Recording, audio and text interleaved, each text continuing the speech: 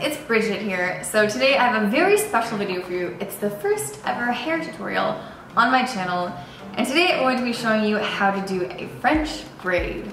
So a while back in August, I did a video of a French braid fail that I had, and a lot of you guys commented asking for a tutorial, so that's what I'm gonna bring to you today.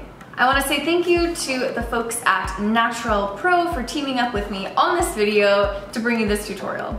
So first up, I'm gonna be using the Majestic Oil 100% Moroccan Oil Ultra Hydrating Styling Cream. So this morning when I washed my hair, I already put a pump of this in damp, but I'm gonna use just a little bit extra, only about this much. But if your hair is totally clean, you definitely wanna put in a styling cream to help tame frizz and give a bit of a soft hold. This one's really nice Argan oil is really conditioning for your hair, and also this stuff smells amazing. It's kind of like a warm, ambery, woody scent, and it smells divine. So I'm gonna just brush that through my hair.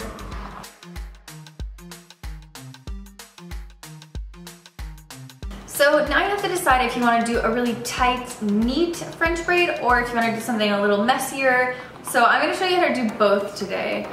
And the first step is to make a center part down the middle of your head.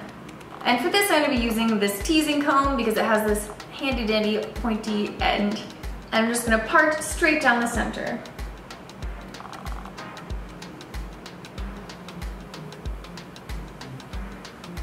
If you're doing a super tight, neat braid, you definitely wanna pay attention to the part and make sure it's perfect. But if you're doing like a messier look, then you don't have to worry so much about the part being perfect. You can tie one half back. You wanna take one piece right at the top, kind of a small chunk, and then you wanna divide this into three pieces.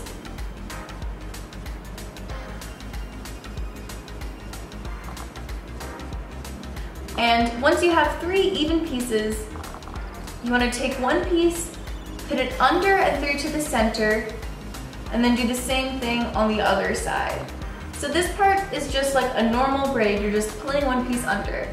And then to do a French braid, each time you pull a section under, you wanna take a little piece of the rest of the hair. So take a bit of the loose hair, and then pull that under into the center. And just keep doing this as you go Try to make sure the pieces are even that you, that you pull into the braid.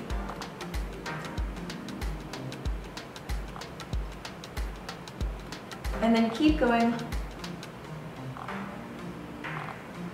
all the way down.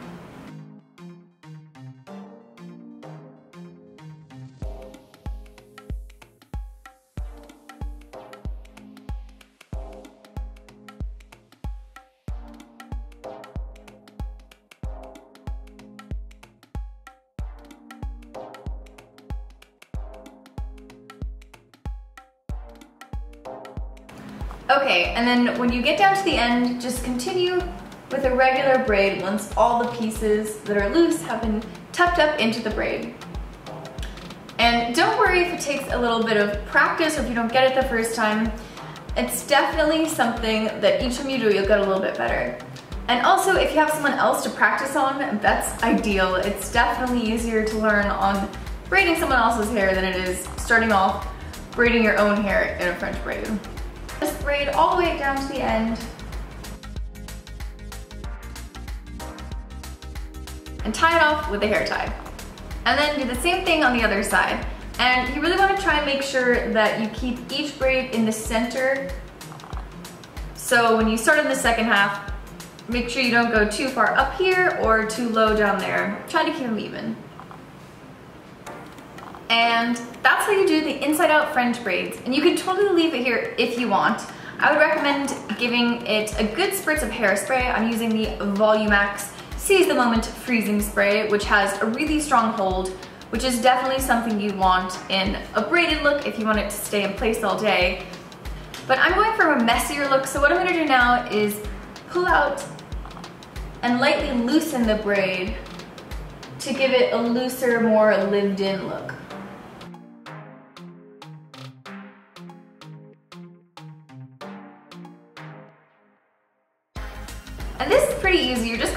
Squeezing it between your hands and sort of pulling, rubbing with your fingers so it pulls the hair out. And again, this isn't necessary, but if you like the look of kind of a bigger, fluffier braid, then this is how you achieve that.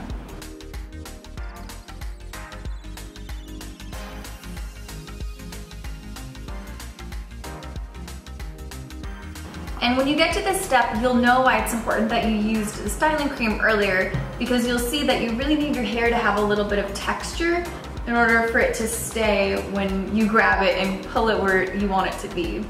And at this point, I'm also gonna grab a few baby hairs from around my face and just kind of pull some pieces out. You can use the comb for this or you can just use your fingers. Just kind of grab little bits so that it's not so done up. And then when you've got it looking the way you want it, take some hairspray and give it a good dousing.